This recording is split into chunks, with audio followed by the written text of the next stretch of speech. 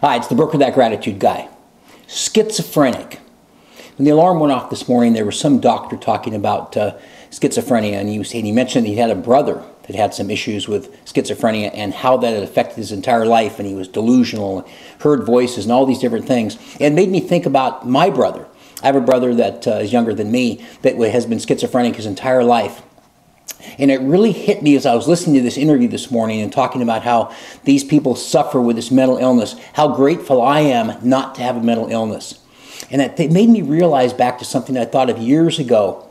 One of the most important, if the most important, if not rather, the most important thing that happens to any of us is the family that we're born into and the condition that we're born into. We have no control over it. All of a sudden, one day we're born and here we are.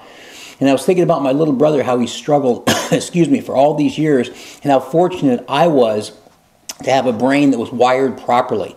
So think about that when you're thinking about things to be grateful for. It's one of the things I like to talk about every single day is think of just the absolute infinite number of things that you can be grateful for. I may have mentioned in the past that sometimes at the talk somebody says, well, I see you do a video every single day on uh, gratitude. How do you think of something new? I always start laughing. Is it a finite list? Are there only so many things to be grateful for? The Brooker, that gratitude guy, he ran out of things to be grateful for, so the videos have stopped.